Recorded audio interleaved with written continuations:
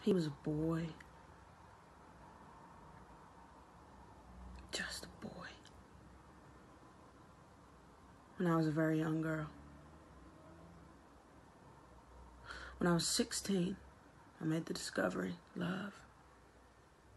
All at once. Much, much too completely.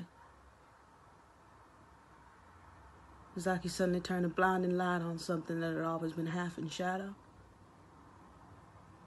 That's how it struck the world for me.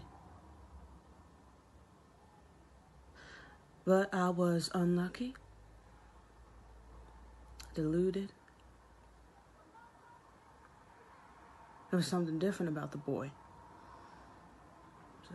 Nervousness or softness, a tenderness, which wasn't like a man. So he wasn't the least bit effeminate looking, still. That thing was there. He came to me for help. I didn't know that.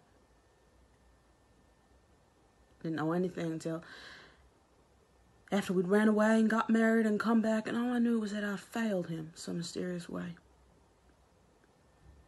Couldn't give him the help he needed, but couldn't speak of.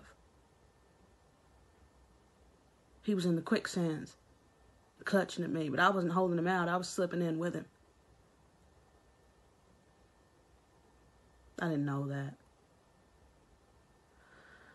All I knew was that I loved him unendurably, but we, without being able to help him or help myself. And then I found out, worst of all possible ways by going into a room which I thought was empty, but which wasn't empty. It had two people in it the boy that I had married and another.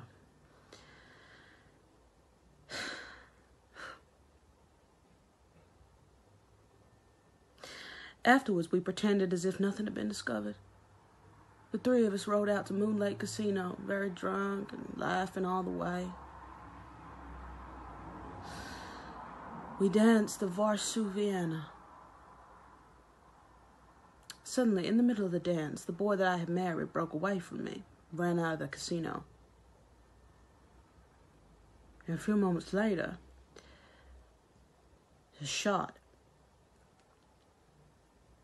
I ran out, all did, all ran towards the terrible thing at the edge of the lake. I couldn't get near for the crowding. Then somebody caught my arm so don't go any further. You don't want to see. See? See what?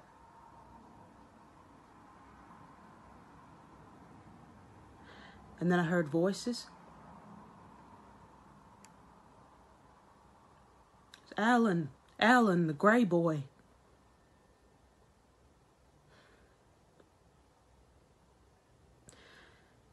He had put the revolver into his mouth and fired so that the back of his head had been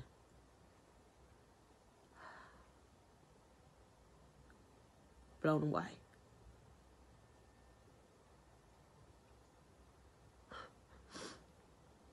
It was because in the middle of the dance, unable to stop myself, I had said, I know, I saw, you disgust me. And then the searchlight that had been turned on in the world was turned off. And never and for one moment since has there been any light stronger than this kitchen candle.